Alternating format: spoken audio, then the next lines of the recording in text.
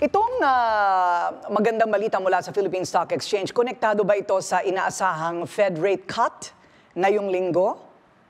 Yes, yes. Ah, malaki po yung ah, kinalaman ng uh, ina-expect na Fed rate cut sa pag-angat ng ah, merkado natin ngayon. In fact, ito po yung isa sa talagang ah, inaabangan ah, ng ating mga investors. Kasi nga, ah, kapag ka po nangyari yung US, ah, yung Fed rate cut, eh, um, inaasahan na ito ay makakatulong sa ekonomiya ng US And alam naman natin na um, malaki yung connection ng uh, US at ng Philippines. I mean, the two are really close economic partners. I, I, at least from the perspective of the Philippines, si US yung isa sa mga top economic partners natin. So if magkakaroon ng interest rate cut sa US, makakatulong to sa ekonomiya nila, tataas yung demand nila, at ito naman ay makakatulong sa Philippines, Okay. sa, sa Philippine economy in particular. Jafet, magandang gabi sa iyo. This is Pinky. No? Itong pag-breach ng ah, PSE dito sa s- 7,000 level, inaabangan ito. Nangyari ata to, kung di ako nagkakamali, ito lamang ah, nakaraang araw, hindi ba? Kasi palaging umaabot, pero sa closing medyo hin- hindi talaga umaabot sa 7,000 level. Hanggang kailan kaya itong tinatawag na market rally ng PSE sa palagay mo? Ah, uh, well, una magandang gabi po, uh, Ma'am Pinky. Uh, with respect to your question, um, kasi if titignan niyo po yung uh, local market ngayon, uh, eh talagang undervalued pa rin po siya. When you say undervalued, um, yung uh, halaga ng ating mga kumpanya base sa kanilang financial performance, eh mas mataas pa rin kumpara sa kung magkano sila pinepresyo ng merkado.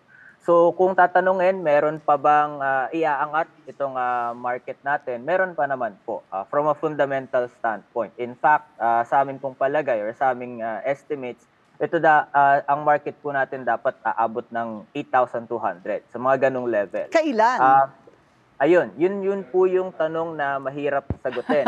Kasi ang merkado po natin, har- ah, let's face the fact, yung ating merkado ay nakabase sa mga narratives or yung yun nga, yung mga factors at play na tinatawag. But ah, assuming na yun, um, assuming na moving forward eh magiging tuloy-tuloy naman or magtutuloy-tuloy naman yung um, yung mga yung mga magandang mga magandang nakikita natin. Like for example sa ekonomiya tuloy-tuloy yung ah, malakas pa rin naman yung kanyang growth. Ah, tuloy-tuloy yung pagbagal ng pagtaas ng presyo ng mga bilihin.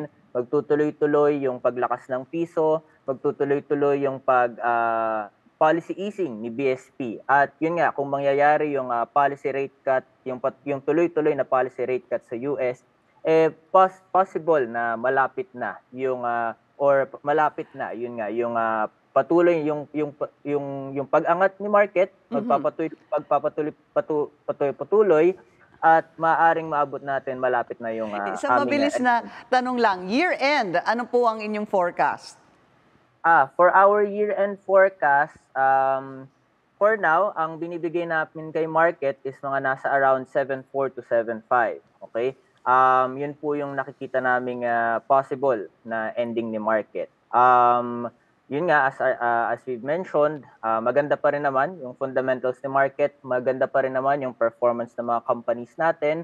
Um, so it still has that potential upside. Ang yun nga lang po, ah, marami pa rin tayong mga uncertainties na kinakaharap. Ah, yun nga, magpapatuloy pa ba yung ah, sinabi ko mga factors Opo. kanina. So ito yung inaabangan ng mga investors. Maraming Kaya, salamat. ayun. Opo, maraming salamat po sa inyo, Japet Tantiangco, Research Manager ng PhilStocks Financial Incorporated.